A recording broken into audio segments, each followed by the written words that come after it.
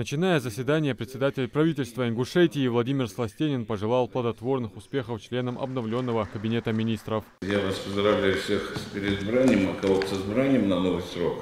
Продолжить также активно и плодотворно работать по всем направлениям. Далее военный комиссар Ингушетии Заурбек Гадаборша выступил с докладом, рассказал о ходе отбора на военную службу по контракту и подготовке к проведению осеннего призыва. Работа по набору граждан на контрактную службу продолжается. Все желающие, те, кто изъявили желание поступить на военную службу по контракту, они обращаются как в военные комиссариаты, так и на пункт набора граждан на военную службу по контракту, который находится по Муталиеву. А, на сегодняшний день нами отправлено более 360 человек на военную службу по контракту. На сегодня мы знаем то, что выплаты единовременные как от э, нашего, э, от нашей республики, так и от федерального центра увеличены. А, мы выплачиваем 400 тысяч, и э, земельный участок выделяется, и федеральный орган исполнительной власти, это от Министерства обороны, то же самое 400 тысяч.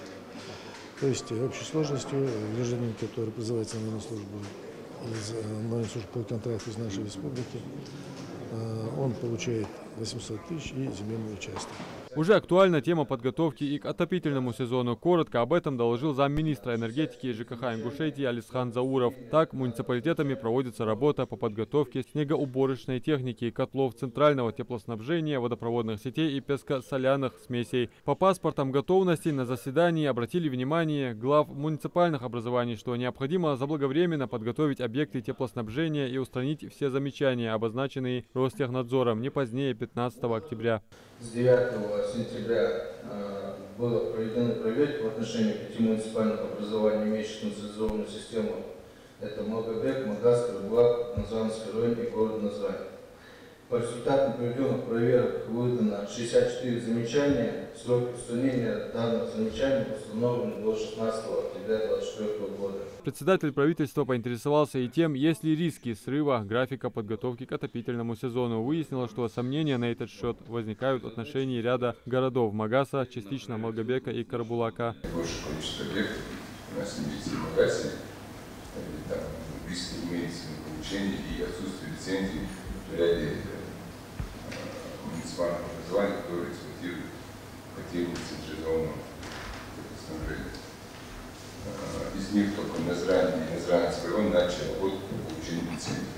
Молгобек имеет на один объект, а на второй объект мы тоже начали работу. Пожалуйста, Магаз, в чем проблема? Руководитель наш Роспотребнадзор не будет просто говорить, что он не готов. Вы даже не взяли бумаги, что-то, документы.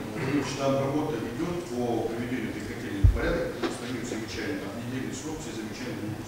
Далее под председательством Владимира Сластенина обсудили ряд насущных вопросов, в том числе о внесении на рассмотрение в Народное собрание нескольких нормативных актов. Адам Мережков, Сулейман Костоев, МАГАЗ 24.